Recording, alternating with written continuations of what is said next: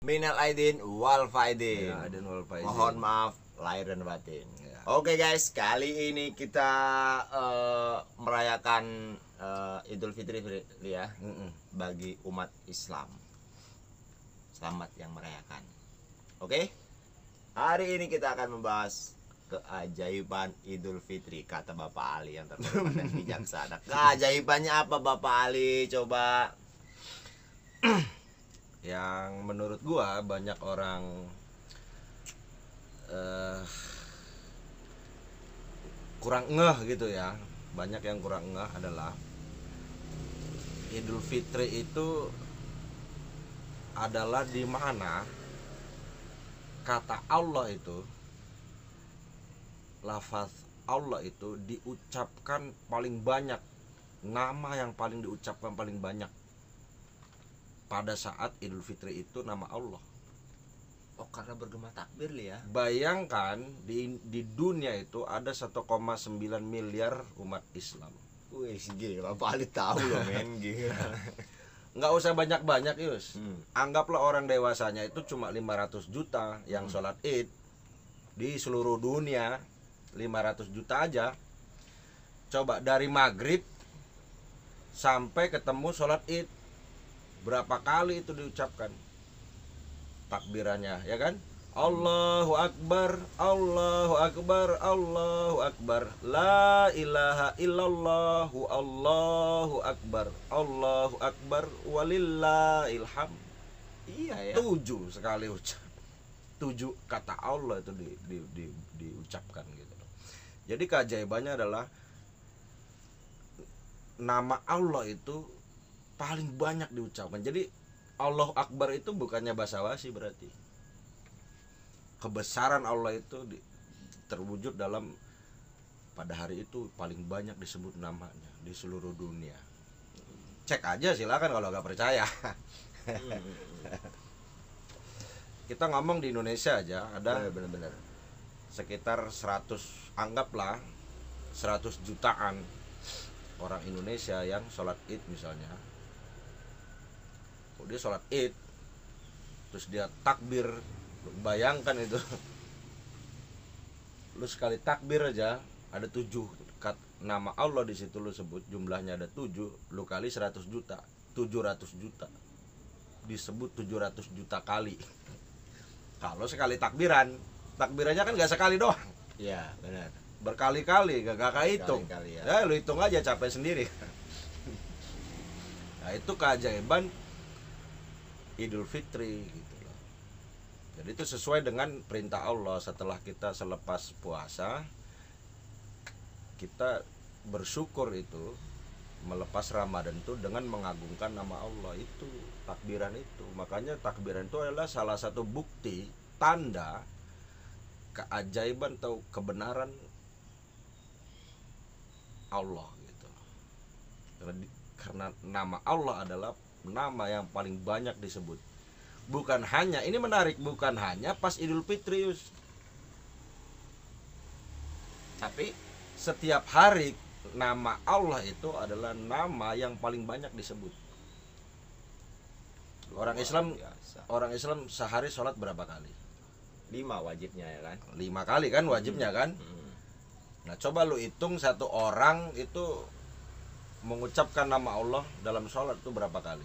Pertama kali rokaat Allahu Akbar, Allah Akbar. Dalam satu kali sholat, ambillah yang dua rakaat. Berapa kali mengucapkan kata Allah itu? Anggaplah di dunia ini yang sholat itu cuma 100 juta aja. Misal gitu ya. Misal cuma 100 juta orang aja yang sholat satu hari lima kali sholat. Udah berapa? lu kali aja berapa kali nama Allah disebut di situlah kemukjizatan nama Allah Oh, Oke oke luar biasa. Tapi menurut Bapak Ali di Idul Fitri ini eh, ada yang beda nggak sih? Orang yang menang menyelesaikan misinya bulan puasa mereka kan uh semringah men ini hari kemenangan men. Menurut Bapak Ali ada perbedaan nggak sih sama orang yang nggak puasa? Soalnya bukan bukannya kita menghardik orang yang nggak puasa ya. Maksud saya eh, penilaiannya Bapak Ali gimana? Ada yang beda nggak sih? Ya ini menariknya. Ini keajaiban Idul Fitri juga. Mau yang puasa mau yang nggak puasa gembira Eh, ikut semua. aja. Mau nggak punya uang mau punya uang gembira aja. udah seneng aja udah. Misalnya nggak punya uang kan Ah. kalau ketemu temen THR dong. Ya, itulah keajaiban Idul Fitri keberkahan hari kemenangan itu ya kan? Terus ini bagi yang puasa bagi yang puasanya benar gitu loh ya. Maka Idul Fitri adalah apa itu? Kelegaan hati.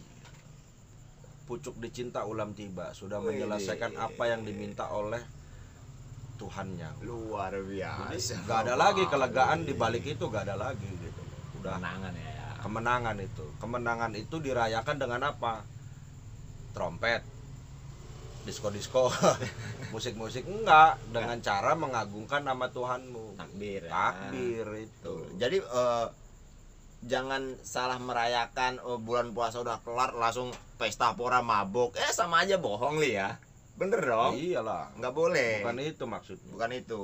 Jadi kegembiraan itu bukan kegembiraan ke mall beli baju gitu kan. Hmm. bukan ke pusat perbelanjaan beli barang-barang atau beli makanan kegembiraan itu bukan hanya itu kegembiraan yang dimaksud adalah eh, kita kembali kepada fitrahnya kita yaitu makhluk yang tunduk taat pada Tuhan gitu. tapi Idul Fitri ini yang kita rasa ini di Indonesia ini ada eh, apa namanya eh, eh, kebiasaan sungkeman maksudnya maaf maafkan itu emang di Islamnya diajarin seperti itu apa emang adatnya orang Indonesia aja sih sebenarnya Li?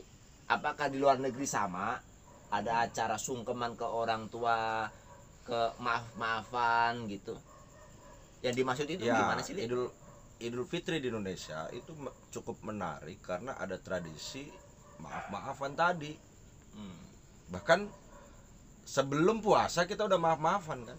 Sebelum memulainya itu sebelum ya? mulai puasa kita udah maaf maaf mohon maaf ya besok mau puasa gini gini gini ya kan? Ada Ah. ucapan gitu. Terus setelah Idul Fitri atau pas Idul Fitri kita juga maaf maafan dan itu cuma ada di Indonesia memang. Di luar gak ada ya? Di luar belum tentu ada. Belum tentu ya? Belum tentu ada. Tidak semeriah yang di Indonesia. Ini luar biasanya. Bahwa kemudian saling berkunjung antar keluarga ya ada sih budaya ah, bukan tradisi di agama lain. Eh, di saudara-saudara kita Kristiani misalnya pas Natalan mereka juga Pulang, begitu iya. ketemu keluarga sukem-sukeman silaturahim kayak gitu.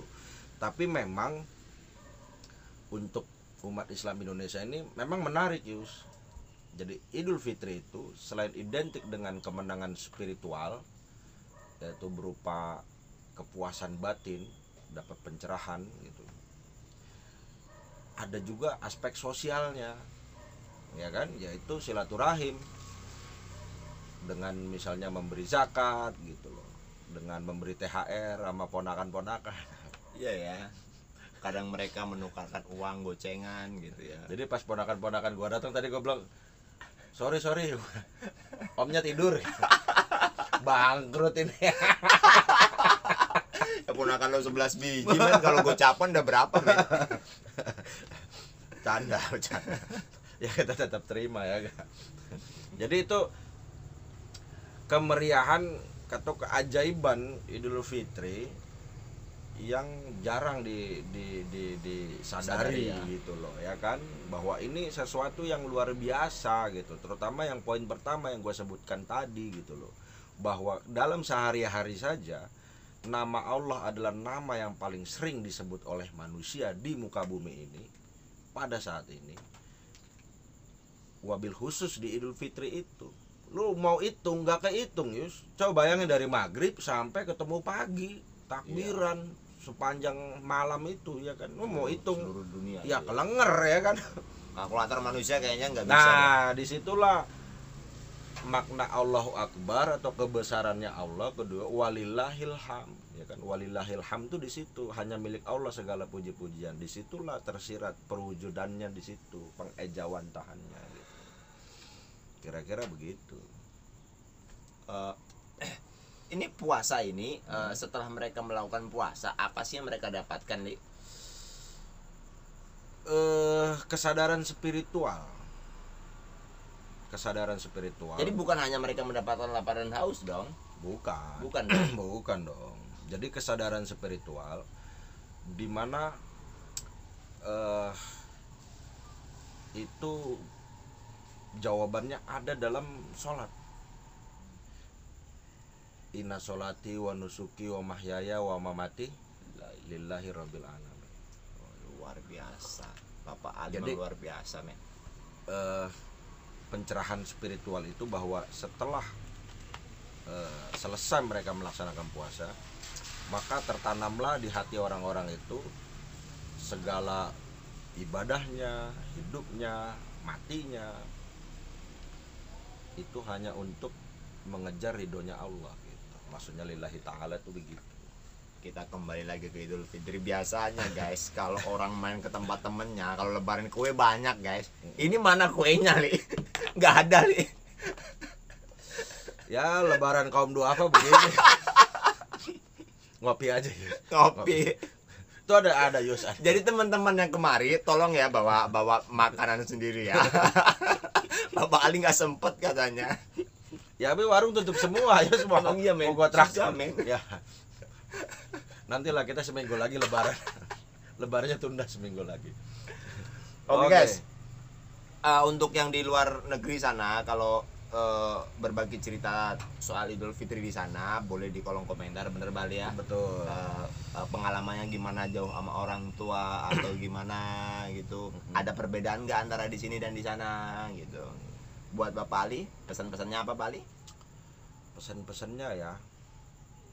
Ya eh kalau puasa itu adalah ibadah individual, artinya untuk mendapatkan kesadaran spiritual bahwa hidup dan mati kita hanya untuk mengejar ridhonya Allah, maka Idul Fitri adalah momen ibadah sosial di mana kita saling berkunjung, silaturahim, saling maaf memaafkan. Sebab begini Yus, eh, kadang-kadang kita terjebak pada formalitas basa-basi. Hmm, seperti ng- ngirimin WA stiker gitu loh, stiker di Oh, WA, iya, iya, iya, iya, wal iya, faizin, iya, iya, min betul. minna wa minkum lah, macam-macam lah Iya. ucapan. Tapi kita jangan terjebak pada itu. Kadang-kadang ya. kalau ya. bicara maaf memaafkan harus konsisten. Ini kepada ya. temen yang nggak pernah ketemu berbuat salah kita kirimin, tapi temen yang punya atau saudara yang punya salah mampu nggak kita maafin? Kadang-kadang kan kita kirimin, tapi kita punya saudara, keluarga atau teman yang memang kita gondok setengah mati itu mampu nggak kita maafin gitu loh. Kalau itu mampu, berarti itu salah satu kesadaran spiritual gitu. berarti puasanya termasuk Jadi jangan ininya ya. jangan minal aidin wal faizin itu basa-basi di WhatsApp, WA ya. gitu kan di medsos aja gitu. Buktikan itu dalam dunia nyata dalam kehidupan bahwa lu mampu memaafkan orang yang melukai hati lu itu. Mampu nggak? Kalau mampu berarti ya begini. Jadi Idul Fitri itu bermakna juga ibadah sosial juga gitu. Kira-kira. Oke, teman-teman. Itu dari Bapak Ali. Kalau dari saya pribadi yang bulan ini tahun ini tidak bisa melaksanakan puasa dengan full atau tidak sama sekali, Mudah-mudahan. semoga mudah-mudahan tahun depan bisa mengikuti setidaknya ikutlah kita eh, melaksanakan kewajiban kita Ya. sebagai umat muslim. Setuju. Dan eh, yang mau kemari jangan lupa bawa kopi ya karena kita belum ngopi yang hangat nih kopinya udah dingin warung pada tutup oke guys sampai jumpa Sampai jumpa.